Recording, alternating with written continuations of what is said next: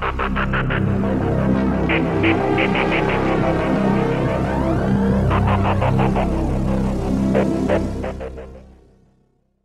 everyone, welcome to today's tutorial on how to get keyboard inputs using Python. Um, Python has a really great package that I use all the time for automation called PyAutoGUI. So today I'm just going to demonstrate some of the functions of PyAutoGUI and let you explore how to create programs that can automate your work and simulate keyboard and mouse inputs. But today let's focus on the keyboard. So first we're going to import PyAutoGUI. That's the library that we're going to be using. And um, make sure that it's installed. So if you don't know how to install that, just go to your terminal and do pip install PyAutoGUI. Pip is the Python package manager. Mine's already installed.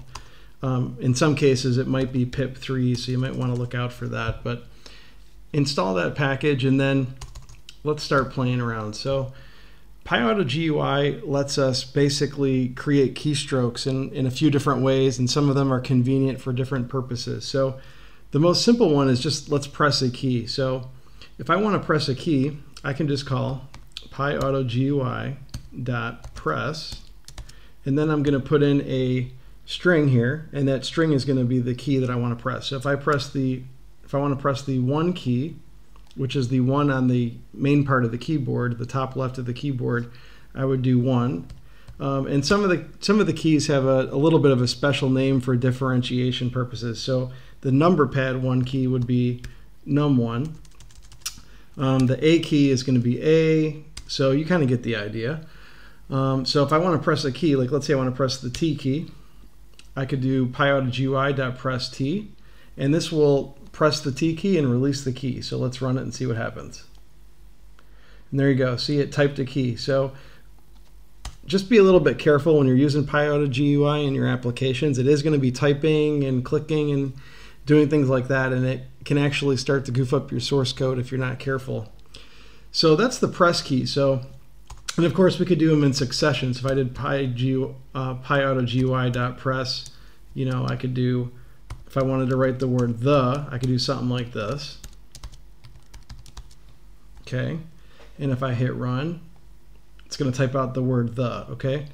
So that would be a little bit annoying though if we wanted to, you know, let's say I wanted to type in a whole string like, hi, how are you? It would be annoying if I had to do a line of code for every character. So luckily PyAutoGUI gives us a way to just type in text in one go. And the command is called typewrite. So you can do pyautogui.typewrite. And let's say I pass in a string. My message is hello world. Okay. And if I run this, it's going to type in hello world. There you go. It typed it in right there. So, so very cool stuff. So this is a great way to automate um, if you want to simulate sending messages or things like that. Um, for a video game, if you're interested in automation and botting, this is how you could integrate a chatting, you know, responding to messages and things like that. Um, we can also make this look a little bit more realistic. So let me demonstrate another interesting part of typewrite. So typewrite can also take an integer, which is an, uh, a delay. So um, we could say hello world, comma, let's say one.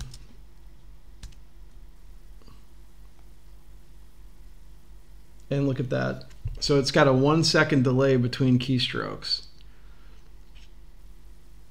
See that? See how it's typing it out right here live?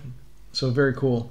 So that's that's kind of slow obviously. We we probably wouldn't want it to type that slow if we were trying to simulate a human interaction. We might do something like uh, well, let's do 0.15 And look at that, it's like somebody's typing it out. Let me move it down to another line here, save it, run it. There you go, so it's typing out hello world, just like we would on the keyboard. Very cool. So another function that you might want to do is um, you might want to hold a key and then press another key or something like that. You know, if, depending on your application, there might be instances where I want to hold the shift key and press something and then release the shift key. So how can we do that? So other than press, which is basically the key down, pressing the key and releasing it, we could also call PyAutoGUI dot key down. And to demonstrate this, um, and it, this is again, this could get a little bit of an, a little bit annoying. So, um, but the key down will will hold down this key and it will not release it. So if I put in the shift key, or I guess let's just do it the annoying way. If I put down key down A, and I run this thing, it's going to hold that the A key down. It's not going to release it. There you go. It's just like if I was holding the A key down on the keyboard. And that's going to keep going until I actually press my keyboard and the operating system can register the key went down and up. So just be a little bit careful. Like I said, if you're if you're playing around in your source code and you're running this application, it could start generating stuff all over the place and it can mess you, mess you up. So that's the key down. So that key will stay down until it's told to come up. So PyAutoGUI also has a key down, key up function. This will release the A key. And, oops, let's see, what did I do? Let's try this again. There you go. It typed in a single A. So key down, key up. That's the. This is the exact equivalent of doing key press, or, or just press. So these two lines of code here are equivalent to this. It's kind of a convenience thing. But what we could do is we could um, import time, the time uh, library here. So we could put the key down and then we could sleep. So we could do a time, just to de demonstrate, we could do time dot sleep. Let's do two seconds and then key up. So just to demonstrate that. There you go. It's holding it for two seconds and then it should release. There you go. Very cool. So another thing is you might want to um, you might want to have keys go down and come up in a certain order. Like for example, Control Alt Delete is the common Windows. I'm using Linux, but Windows, you know, Control Alt Delete is a common uh, combination of characters. So there's also a function that's really useful for doing combinations in order. So what it'll do is it'll press the keys in order, it'll press and hold the keys in order, and then release them in the reverse order. So it's kind of a way to to get like that control, like you're holding control delete and then releasing it.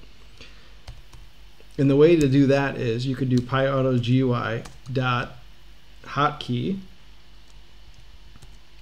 and then what we're going to do is we're going to pass in uh, the we're going to pass in as many keys as we want. So what we would do is we would do, for example, if I wanted to do Control Alt Delete, I would do Control. So, and you can look at PyAutoGUI's website to look at what the strings are, but they're pretty intuitive for what each each character is or what each uh, key is. So Control Alt Delete.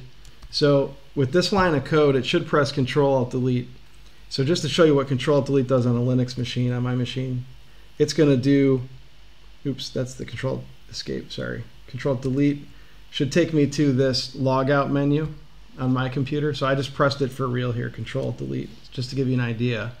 So now let's run this program and see if it does that. It does the same thing. There you go. So it pressed that automatically.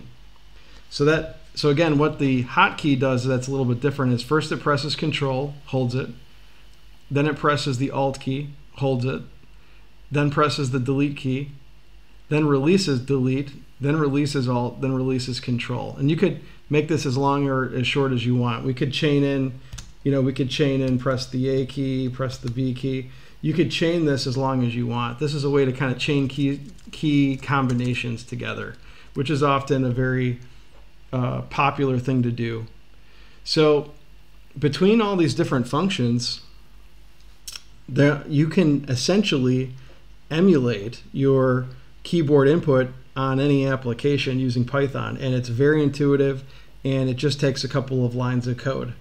So this is a great short summary on PyAutoGUI with keyboard input. Um, check out another video I'll do. I'll, I'll do one for mouse inputs and maybe some of the other functions of PyAutoGUI.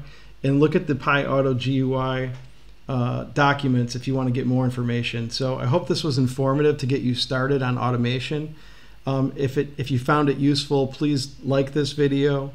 Uh, please, you know, consider subscribing to my channel. I like to do videos on automation, AI, machine learning, and uh, hope to see you in another video. So thanks and have a great day.